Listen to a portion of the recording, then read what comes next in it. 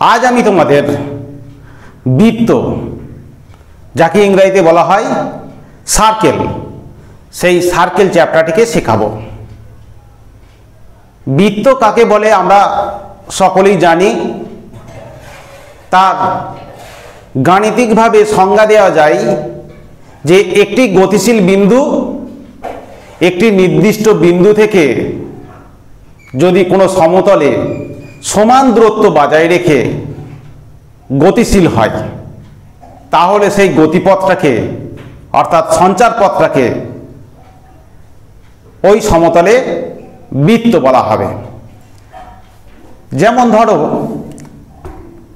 C হচ্ছে একটি নির্দিষ্ট বিন্দু, কোনো সমতলে সি হচ্ছে একটি নির্দিষ্ট বিন্দু। এই সমতল, সেই সমতলে নির্দিষ্ট বিন্দু হচ্ছে সি পি হচ্ছে একটি গতিশীল বিন্দু। পি বিন্দুটি গতিশীল। পি বিন্দুটি এমনভাবে গতিশীল যে এই নির্দিষ্ট বিন্দু থেকে পি বিন্দু সমান দূরত্ব বজায় রেখে গতিশীল। তাহলে সমান দূরত্ব সি থেকে পি এর দূরত্ব সর্বদা সমান রেখে যদি গতিশীল হয়, সমান দূরত্ব, অর্থাৎ সিপি দূরত্বটা সর্বদা একটা নির্দিষ্ট রেখে পি বিন্দুটা বিভিন্ন অবস্থানে যদি গতিশীল হয়। তাহলে এই পি বিন্দু সঞ্চার পথ বা পি পি বিন্দুর গতিপথকে বলব আমরা বৃত্ত। এই যে নির্দিষ্ট বিন্দু, যে বিন্দু থেকে সমান দূরত্ব বজায় রেখে পি বিন্দুটা গতিশীল, এই নির্দিষ্ট বিন্দু সি কে বলা হয় বৃত্তের কেন্দ্র বা সেন্টার। এবং নির্দিষ্ট দূরত্ব সি থেকে পি এর দূরত্ব সি বিন্দু থেকে পি বিন্দু দূরত্ব, গতিশীল বিন্দু থেকে এই নির্দিষ্ট বিন্দু দূরত্ব সর্বদা সমান। এই নির্দিষ্ট দূরত্বকে বলা হয় বৃত্তের ব্যাসার্ধ, যাকে বলা হয় রেডিয়াস অফ দ্য সার্কেল এরপর আমরা বৃত্তের সমীকরণ নির্ণয় শিখব। যদি কোনো বৃত্তের কেন্দ্র মূল বিন্দুতে হয় এবং ব্যাসার্ধ একটা নির্দিষ্ট দৈর্ঘ্য দেওয়া আছে এ অর্থাৎ কেন্দ্র মূল বিন্দুতে বৃত্তের ব্যাসার্ধ এ হলে বৃত্তের সমীকরণটি আমাকে নির্ণয় করতে হবে। এই বৃত্তটা আমরা আঁকলাম, যার কেন্দ্রটা হচ্ছে মূল বিন্দুতে। বৃত্তের কেন্দ্রটা মূল বিন্দুতে আছে, এটা এক্স অক্ষ এক্স এক্স ড্যাশটা এক্স অক্ষ ওটা মূল বিন্দু, আর ওয়াই ও ওয়াই ড্যাশটা হচ্ছে ওয়াই অক্ষ। বৃত্তটি কেন্দ্র হচ্ছে মূল বিন্দুতে, আর ব্যাসার্ধ হচ্ছে এ একক। হলে এই বৃত্তটার সমীকরণ আমাকে নির্ণয় করতে হবে। এই সমীকরণ নির্ণয় করার জন্য আমি বৃত্তের উপর যে কোনো বিন্দু এক্স ওয়াই মনে করলাম।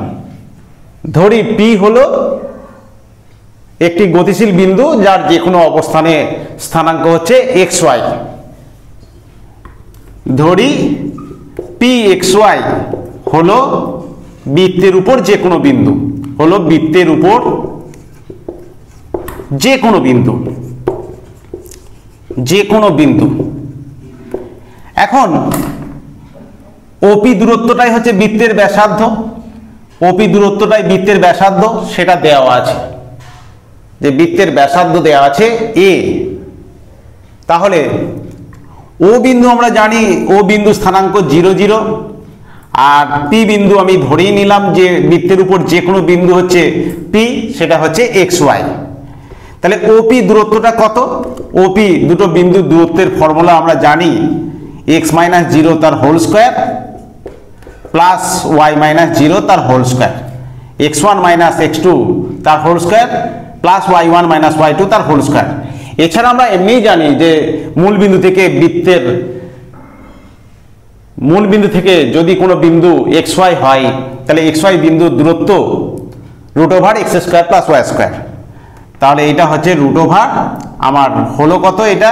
Root over x square plus y square এখন ওপিটাই হচ্ছে বৃত্তের ব্যাসার্ধ, তাহলে ওপিটাই হচ্ছে বৃত্তের ব্যাসার্ধ, তাহলে ওপির দৈর্ঘ্যটা হচ্ছে এ ওপি সমান হচ্ছে ওপি দৈর্ঘ্যটাই হচ্ছে এ তাহলে ওপি স্কোয়ার সমান হচ্ছে এ স্কোয়ার ওপির মানটা বসিয়ে দিচ্ছি ওপি স্কোয়ার হচ্ছে তাহলে x square plus y square সমান হচ্ছে এ স্কোয়ার এই যে এটা সমীকরণটা পেলাম, এটাই হচ্ছে বৃত্তের কেন্দ্র মূলবিন্দুতে, যে বৃত্তের কেন্দ্র মূলবিন্দুতে এবং ব্যাসার্ধ এ সেই বৃত্তের সমীকরণ হচ্ছে x square plus y square equal to a square এই গুরুত্বপূর্ণ সূত্রটা তোমাদেরকে মনে রাখতে হবে।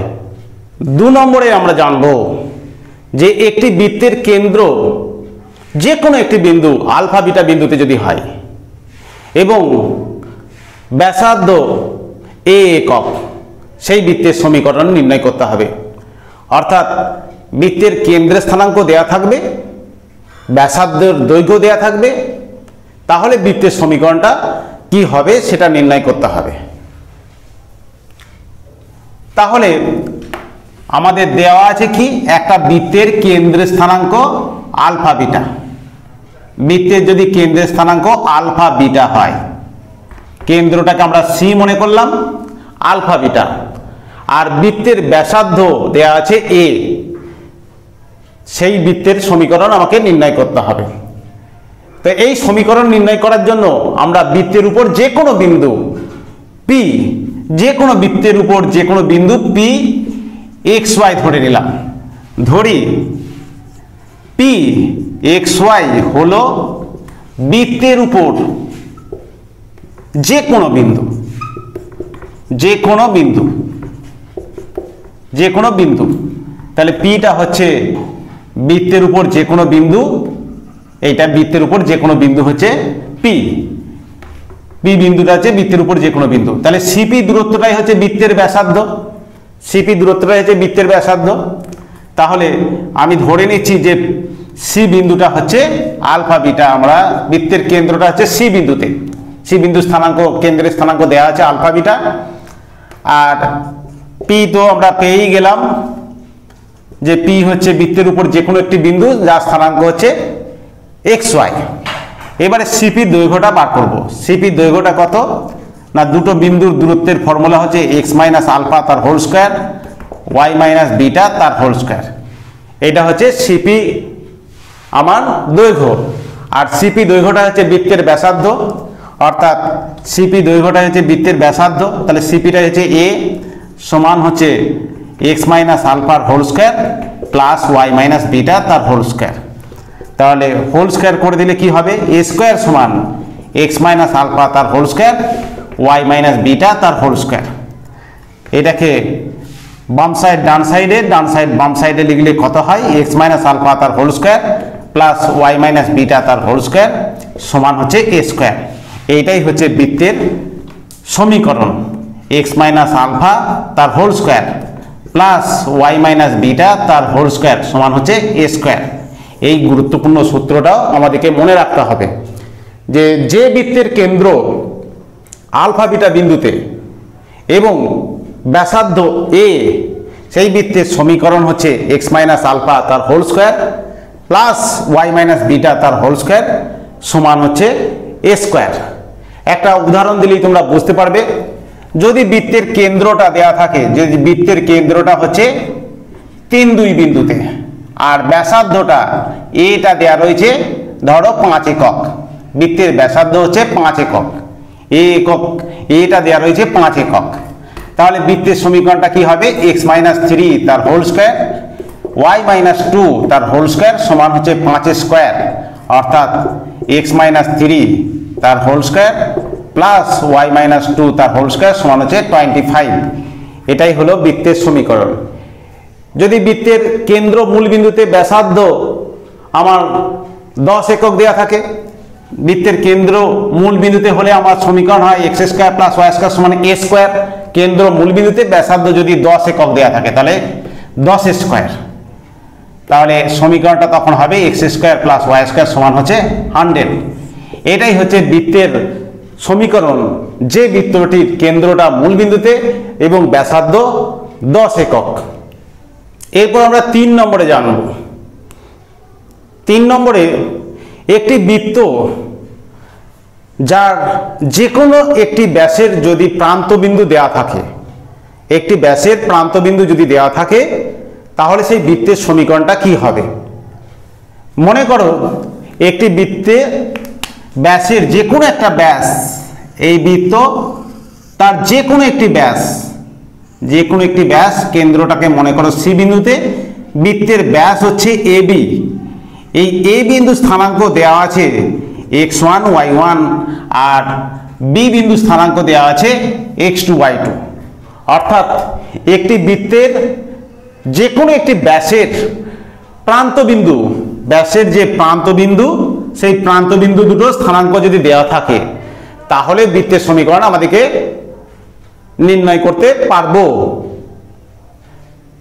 তো এই সমীকরণ নির্ণয় করার জন্য এই বৃত্তটার সমীকরণ নির্ণয় করার জন্য আমরা বৃত্তের উপর যে কোনো বিন্দু ধরে নিলাম পি যে বৃত্তের উপর যে কোনো বিন্দু স্থানাঙ্ক ধরে নিলাম এক্স ওয়াই যেটা পি বিন্দুতে অবস্থিত।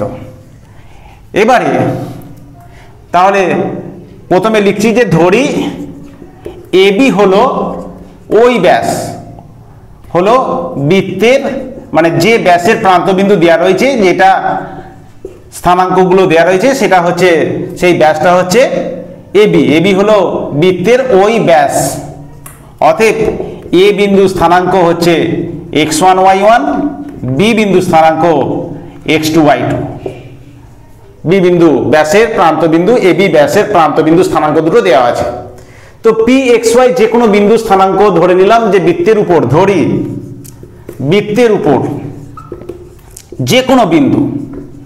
যে কোনো বিন্দু পি এক্স ওয়াই পি বিন্দু স্থানাঙ্ক হচ্ছে এক্স ওয়াই এরপর আমরা এপি যোগ করলাম এবং বিপি যোগ করলাম। তাহলে দেখতে পাচ্ছি যে এপি আর বিপি যোগ করলে এই যে কোণটা তৈরি হলো, অর্থাৎ এপিবি এটা হচ্ছে অর্ধবৃত্তস্থ কোণ। অর্ধবৃত্তস্থ কোণের পরিমাণ আমরা জানি নাইনটি ডিগ্রি অর্ধবৃত্তস্থ কোণ, সমকোণ। তাহলে এপিবি কোণটা নাইনটি ডিগ্রি, অর্থাৎ এপি আর বিপি পরস্পর লম্ব। তাহলে এপির প্রবণতা বার করব। তাহলে এপি এর প্রবণতা এপির প্রবণতা, দুটো বিন্দু স্থানাঙ্ক দেওয়া রয়েছে এ বিন্দু আর পি বিন্দু, তাহলে এপির প্রবণতা এপির প্রবণতাটাকে আমরা ধরে নিলাম যে এম ওয়ানের প্রবণতাটা তাহলে কত? না ওয়াই স্থানাঙ্কর বিয়োগফল ডিভাইডেড বাই এক্সের স্থানাঙ্কগুলোর বিয়োগফল। আর বিপিরও প্রবণতা বার করতে পারব? তাহলে বিপি এর প্রবণতা কত? এটাকে ধরে নিলাম যে প্রবণতাটা হচ্ছে এম টু তাহলে বিপির প্রবণতা হচ্ছে y minus y two by x minus x two এখন এপি আর বিপি পরস্পর লম্ব। তাহলে এপি লম্ব বিপি তাহলে এপি লম্ব যদি বিপি হয় অর্ধবৃত্তস্থ কোণ সমকোণ, সেই সূত্র অনুযায়ী এটা নাইনটি ডিগ্রি তার অর্থাৎ এপি আর বিপি লম্ব। তাহলে এপি আর বিপির যে প্রবণতা তাদের গুণফলটা অবশ্যই মাইনাস ওয়ান এটা আমরা জানি যে দুটো সরলরেখা যদি পরস্পর লম্ব হয়, তাহলে দুটো সরলরেখার প্রবণতা দুটোর গুণফলটা সর্বদা মাইনাস ওয়ান হয়। তাহলে ওটাকে আমরা এম ওয়ান এবং এম টুর মান যদি বসিয়ে দিই, কত হবে? Y minus y one by x minus x one into y minus y two by x minus x two সমান হচ্ছে মাইনাস ওয়ান তাহলে ক্যালকুলেশন করলে কত হবে? Y minus y one into y minus y two সমান minus x minus x one into x minus x two তাহলে কত হচ্ছে? এই টার্মটাকে আমরা এদিক দিয়ে নিয়ে এলাম। তাহলে x minus x one into x minus x two plus y minus y one into y minus y two সমান হচ্ছে জিরো। এটাই পেলাম বৃত্তের সমীকরণ। তাহলে যে বৃত্তের একটি ব্যাসের প্রান্তবিন্দু এক্স ওয়ান, ওয়াই ওয়ান এবং এক্স টু, ওয়াই টু একটি বৃত্তের ব্যাসের প্রান্তবিন্দু যদি দেওয়া থাকে, তাহলে সেই বৃত্তের সমীকরণ হচ্ছে x minus x one into x minus x two plus y minus y one into y minus y two সমান হচ্ছে জিরো। তো একটা উদাহরণ দিলে বুঝতে পারবে। ধরো একটা বৃত্তে যে কোনো একটা ব্যাস, তার ব্যাসের প্রান্ত বিন্দু দেওয়া রয়েছে দুই পাঁচ আর সাত ছয় সাত ছয়। তাহলে ব্যাসের যদি প্রান্ত বিন্দু দেওয়া থাকে, এ বি একটা বৃত্তের ব্যাস, তাহলে ব্যাসের প্রান্ত বিন্দু দেওয়া রয়েছে। তাহলে বৃত্তটার সমীকরণটা কি হবে? না, এক্স মাইনাস দুটো এক্সের স্থানাঙ্কর বিয়োগ ফল হবে। এক্স মাইনাস টু এক্সের স্থানাঙ্ক, আর এখানে x minus seven x minus seven plus y minus y স্থানাঙ্কগুলোর বিয়োগফল হবে পাঁচ ইন্টু ওয়াই মাইনাস সিক্স এখানে পাঁচ বিয়োগ হলো, আর এখান থেকে সাত বিয়োগ সিক্স বিয়োগ হলো। তাহলে সমান হচ্ছে জিরো এটাকে গুণ করলে কত হবে?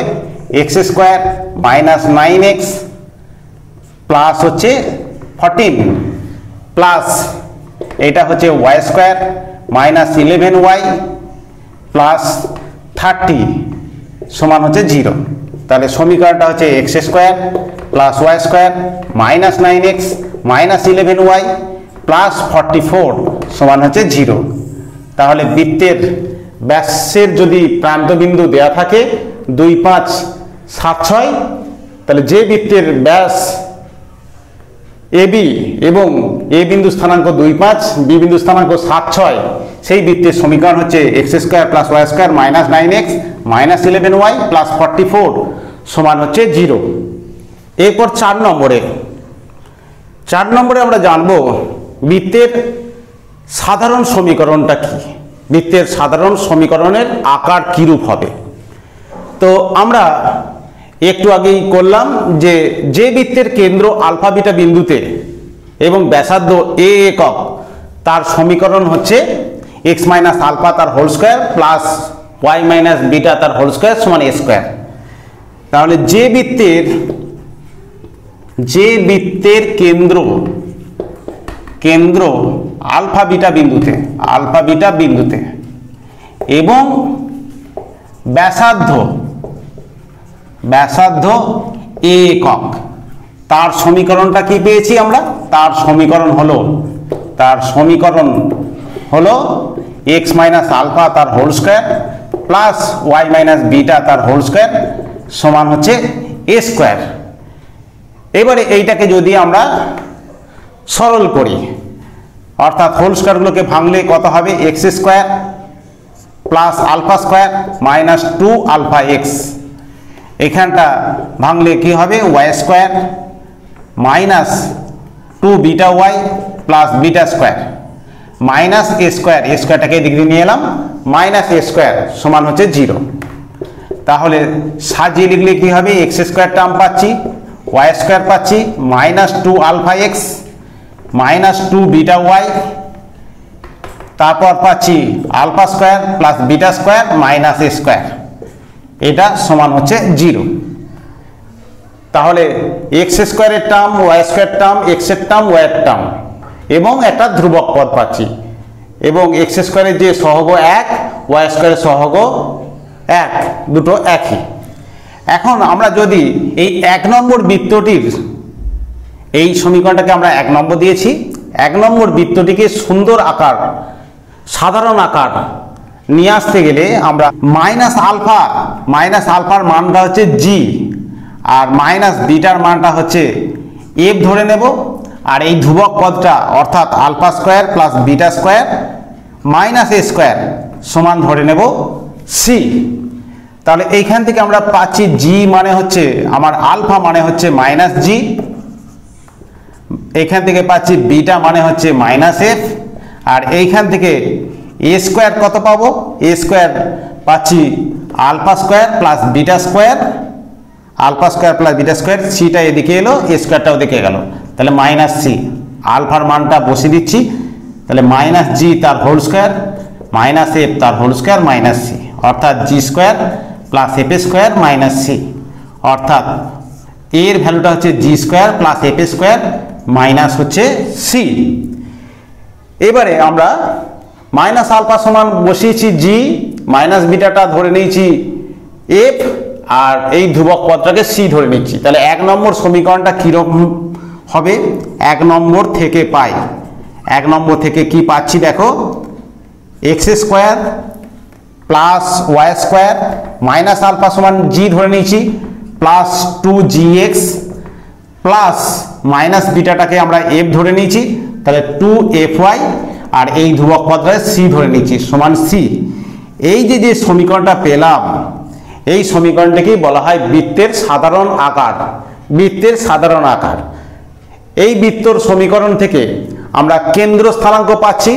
কেন্দ্র স্থানাঙ্ক আমরা জানি যে আলফা বিটা হয়, তাহলে কেন্দ্র, এইটা আমরা দু নম্বর যদি দেয়, তাহলে দু নম্বরটাই হচ্ছে বৃত্তের সাধারণ আকারের সমীকরণ। বৃত্তের সাধারণ সমীকরণ হচ্ছে x square plus y square plus two g x plus two f y plus c সমান জিরো এই বৃত্তটির কেন্দ্র হচ্ছে কেন্দ্র কেন্দ্র স্থানাঙ্ক হচ্ছে মাইনাস আমার কেন্দ্র স্থানাঙ্ক আলফা বিটা হয়। তাহলে আলফা বিটা কেন্দ্র স্থানাঙ্ক ছিল আলফা বিটা আলফা বিটা মানে হচ্ছে মাইনাস জি মাইনাস এফ আর ব্যাসার্ধ পাবো কত? না, ব্যাসার্ধ সমান হচ্ছে এ ছিল।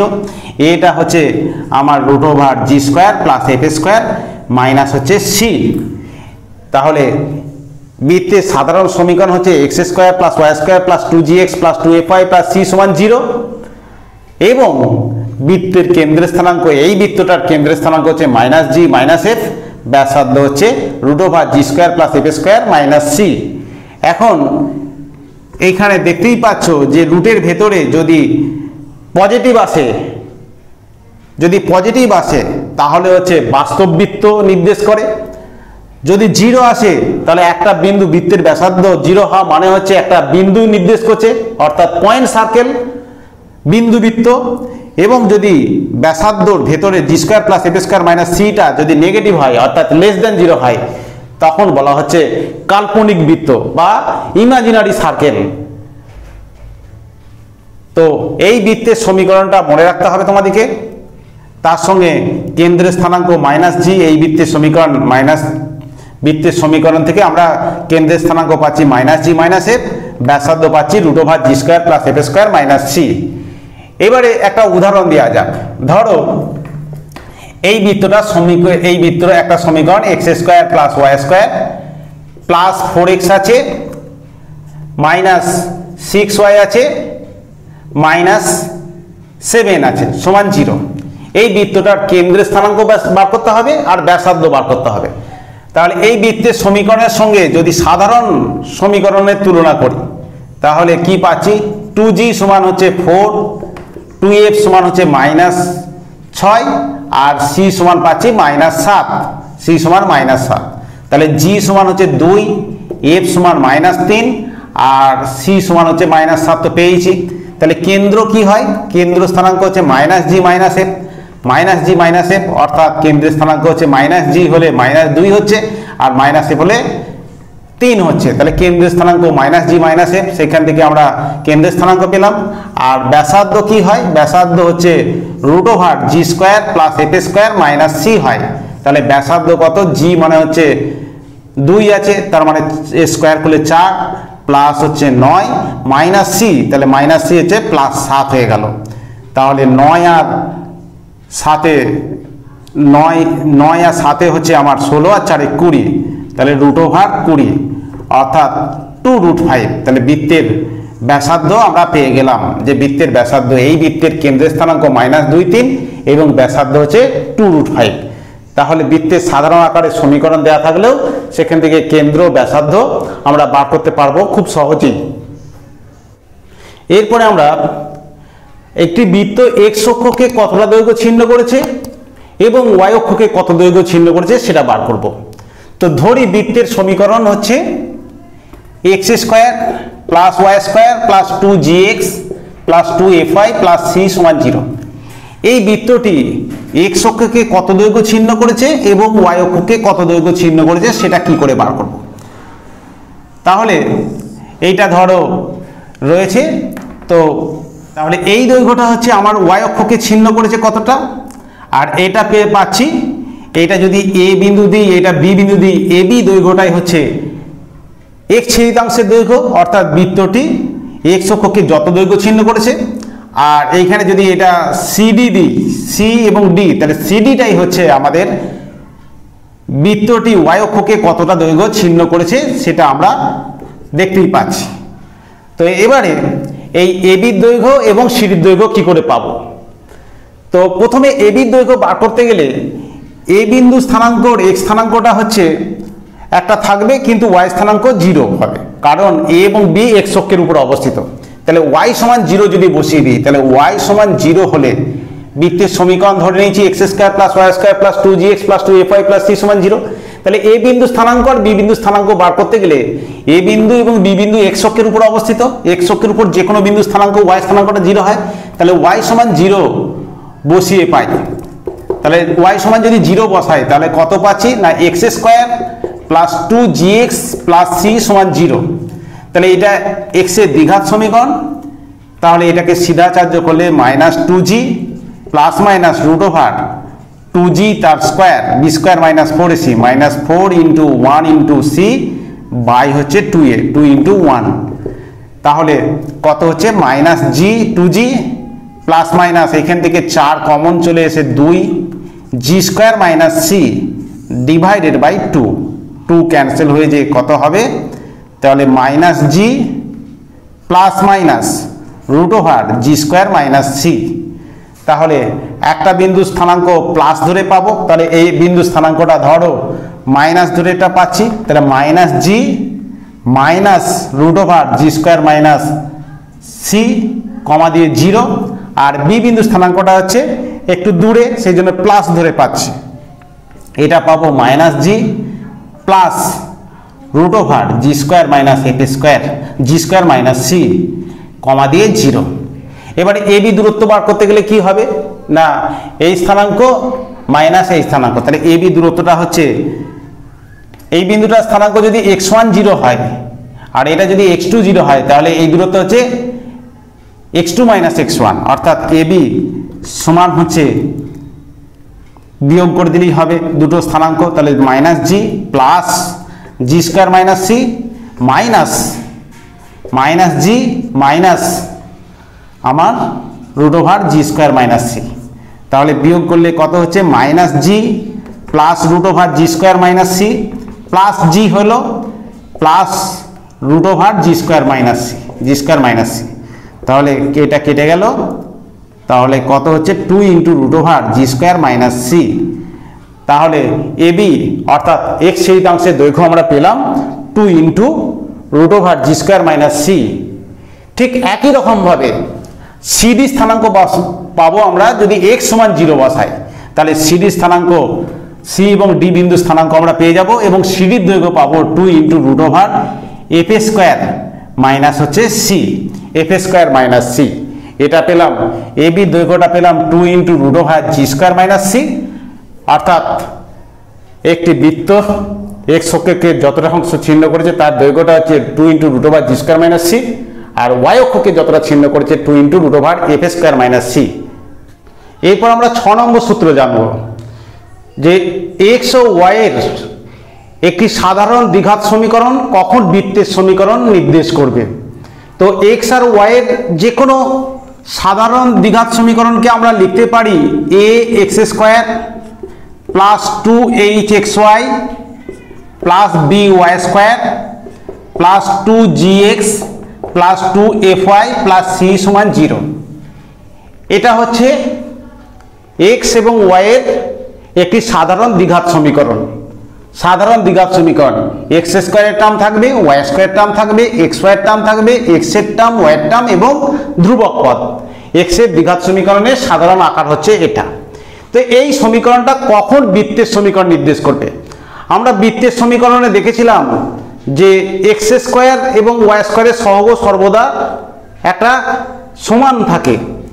তাহলে এখানে এই সমীকরণটি বৃত্তের সমীকরণ নির্দেশ করবে। তাহলে এই সমীকরণটি সমীকরণটি বৃত্তের সমীকরণ নির্দেশ করবে। সমীকরণটি বৃত্তের সমীকরণ সমীকরণ নির্দেশ করবে।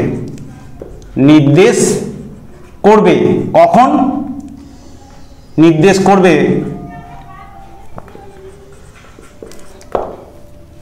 কি শর্তে? না এ আর বি কিন্তু সমান হতে হবে এবং not equal to zero a R b সমান হবে কিন্তু জিরো হলে চলবে না। এটা এক নম্বর শর্ত। আর বৃত্তের সমীকরণে আমরা এক্সের কোনো টার্ম পাচ্ছিলাম না। অর্থাৎ এইচ এর ভ্যালুটা হচ্ছে জিরো হবে। তাহলে এক্স আর ওয়াই এর দ্বিঘাত সমীকরণ, অর্থাৎ x square plus two h x y plus b y square plus two g x plus two f y plus c সমান জিরো এই এক্স আর ওয়াই এর সাধারণ দ্বিঘাত সমীকরণটি বৃত্তের সমীকরণ নির্দেশ করবে তখনই যখন এক্স স্কোয়ারের সহগ এবং স্কোয়ারের যে সহগ, তার সমান হবে এবং সেই সহগটা জিরো হলে হবে না। আর হচ্ছে এক্স ওয়াইয়ের কোনো পদ থাকলে চলবে না। এই দুটো শর্ত যদি পালন করে, তাহলে এই দ্বিঘাত সমীকরণটি একটি বৃত্তের সমীকরণ নির্দেশ করবে। এরপরে আমরা সাত নম্বরে জানব যে দুটি বৃত্ত, তাদের ছেদ বিন্দুগামী বৃত্তের সমীকরণটা কি হবে। ধরো একটা বৃত্ত আরেকটি বৃত্ত এইখানটা আছে। তাহলে দুটো বৃত্ত যে বিন্দুতে ছেদ করছে সেটা মনে করছি এ আর বি তাহলে এ আর বি বিন্দু দিয়ে যাবে এরকম বৃত্ত। এ আর বি বিন্দু দিয়ে যাবে এ আর বি এ আর বি যে যে বৃত্তটার উপর অবস্থিত, যে বৃত্তের দুটো বিন্দু। অর্থাৎ দুটি বৃত্তের ছেদ বিন্দুগামী বৃত্তের সমীকরণটা কি হবে আমাদেরকে জানতে হবে। না ধরো বৃত্তর দুটো সমীকরণ হচ্ছে x square plus y square plus two g one x plus two f one y plus c one সমান জিরো একটা বৃত্ত, আর একটা বৃত্ত হচ্ছে x square plus y square plus two g two x plus two f two y plus c two সমান zero এই দুটো বৃত্ত, এটা এক নম্বর বৃত্তটি, আর এটা হচ্ছে ধরো দু নম্বর বৃত্তটি, এটা দু নম্বর বৃত্ত। তাহলে দুটো বৃত্ত দুটো বিন্দুতে ছেদ করে, সেই দুটো বিন্দু দিয়ে যাবে এমন বৃত্ত, সমীকরণটা কি হবে? না, যে বিন্দু দিয়ে যাবে, সেই বিন্দুটা হচ্ছে প্রথম বৃত্তের উপর অবস্থিত এবং দ্বিতীয় বৃত্তের উপর অবস্থিত। তাহলে আমরা সমীকরণটা লিখতে পারি যে x square plus y square plus two g one x plus two f one y plus c one plus k into দ্বিতীয় বৃত্তটা, অর্থাৎ x square plus y square plus two g two x plus two f two y plus c two সমান হচ্ছে zero যেটা প্রথম বৃত্তের উপরও বিন্দু হবে এবং দ্বিতীয় বৃত্তের উপরও বিন্দু হবে। এই রকম বিন্দু, দুটো বিন্দু দিয়ে যে বৃত্তর অঙ্কন করা যাবে, সেই বৃত্তের সমীকরণ হচ্ছে প্রথম বৃত্ত প্লাস কে ইন্টু দ্বিতীয় বৃত্ত সমান জিরো এইখানে কে এর মান যদি মাইনাস ওয়ান হয়ে যায়, তাহলে এক্স স্কোয়ার পদ থাকবে না ওয়াই স্কোয়ারের পদ থাকবে না। তখন এক্স আর ওয়াই এর টার্ম দিয়ে একটা সরল লেখা সমীকরণ চলে আসবে। তাহলে বৃত্তের সমীকরণ নির্দেশ করবে। তাহলে কেটা not equal to minus one k minus one হলে চলবে না। তাহলে দুটি বৃত্তের সমীকরণ যদি দেওয়া থাকে, সেই দুটি বৃত্ত যে বিন্দু দুটোতে ছেদ করবে, সেই দুটো বিন্দু দিয়ে যে বৃত্ত অঙ্কন করা যাবে, সেই বৃত্তের সমীকরণ হচ্ছে প্রথম বৃত্তটার সমীকরণ প্লাস কে ইন্টু দ্বিতীয় বৃত্তটার সমীকরণ সমান জিরো যেখানে কে হচ্ছে ধ্রুবক, কিন্তু কে এর মানটা মাইনাস ওয়ান নয়। এবারে কে এর মানটা আমরা বিভিন্ন শর্ত দেওয়া থাকবে, সেই শর্তের উপর ভিত্তি করে কে এর মান বার করে আবার এই সমীকরণে বসিয়ে দিলে সেই নির্ণয় বৃত্তটির সমীকরণ আমরা নির্ণয় করতে পারব। এরপরে আমরা এক কেন্দ্র বৃত্তের সমীকরণ নির্ণয় করব। একটি বৃত্তের সমীকরণ যদি দেওয়া থাকে, সেই বৃত্তের কেন্দ্র এবং একটি বৃত্ত, যে বৃত্তটির কেন্দ্র একই হবে, সেই বৃত্তটির সমীকরণ আমরা নির্ণয় করব। মনে করো একটা বৃত্ত এটা তার সমীকরণ দেওয়া আছে x square plus y square plus two g x plus two f y plus c সমান জিরো এই বৃত্তটার সমীকরণ দেওয়া রয়েছে। যার কেন্দ্রটা আমরা জানি যে এর কেন্দ্রটা যদি সি বিন্দু হয়, তাহলে সি বিন্দু স্থানাঙ্ক হচ্ছে মাইনাস জি মাইনাস এফ এই বৃত্তের কেন্দ্রের স্থানাঙ্ক আমরা জানি মাইনাস জি মাইনাস এফ হয়। এবার যে বৃত্তটা হবে সেটা হচ্ছে এই বৃত্তটার কেন্দ্র একই, অর্থাৎ সেই বৃত্তটার কেন্দ্র হচ্ছে মাইনাস জি মাইনাস এফ তাহলে মাইনাস জি মাইনাস এফ যদি হয়, তাহলে বৃত্তের সমীকরণটা হচ্ছে এক্স প্লাস জি তার হোল স্কোয়ার বৃত্তের কেন্দ্র যদি আলফা বিটা বিন্দুতে হয়, তাহলে বৃত্তের সমীকরণটা কি হয়? না x plus x minus alpha তার whole square plus y minus beta এখানে বিটাটা হচ্ছে প্লাস এফ তার হোল স্কোয়ার সমান হচ্ছে একটা ধ্রুবক দিলাম, সেই ধ্রুবকটা হচ্ছে ব্যাসার্ধটাকে আমি ধরে নিলাম, ব্যাসার্ধ হচ্ছে এ স্কোয়ার তাহলে ব্যাসার্ধ হচ্ছে এ হলে তাহলে এ স্কোয়ার হলো। তাহলে এই সমীকরণটা কত হবে? X square plus two g x plus g square হলো plus y square plus two f y plus f square হলো মাইনাস স্কোয়ার সমান হচ্ছে জিরো কি সমীকরণটা হচ্ছে? X square plus y square plus two g x plus two f y plus হচ্ছে জি square পাচ্ছি f square পাচ্ছি মাইনাস এ square পাচ্ছি। সমান হচ্ছে জিরো তাহলে x square plus y square plus two g x plus two f y plus এই ধ্রুবকটাকে আমরা অন্য একটা ধ্রুবক নিলাম সি সমান হচ্ছে জিরো তাহলে আমরা দেখতে পাচ্ছি যে x square plus y square plus two g x plus two f y plus c সমান জিরো এই বৃত্তের কেন্দ্রের একই কেন্দ্রীয় বৃত্তের সমীকরণ হচ্ছে x square plus y square plus two g x plus two f y plus c dash সমান জিরো কেবলমাত্র ধ্রুবক পদটা বৃত্তের সমীকরণে ধ্রুবক পদটা চেঞ্জ হয়ে যায়। এবারে আমরা জানব ন নম্বরে দুটি বৃত্তের যে সাধারণ জ্যা, সেই সাধারণ জ্যায়ের সমীকরণ কি হবে? মনে করো দুটি বৃত্তের সমীকরণ দেওয়া আছে, একটা সমীকরণ x square plus y square plus two g one x plus two f one y plus c one সমান জিরো আরেকটি বৃত্তের সমীকরণ হচ্ছে x square plus y square plus two g two x plus two f two y plus c two সমান zero এই দুটো বৃত্তের সমীকরণ দেওয়া আছে।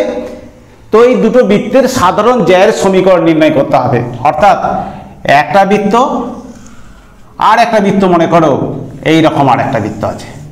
তাহলে এই বৃত্ত দুটি সাধারণ জ্যা আমরা দেখতেই পাচ্ছি, এটা সাধারণ জ্যা তাহলে এই সাধারণ জ্যা, এই সাধারণ জ্যাটা একটা সরলরেখা, সেই সরলরেখার সমীকরণটা নির্ণয় করতে হবে।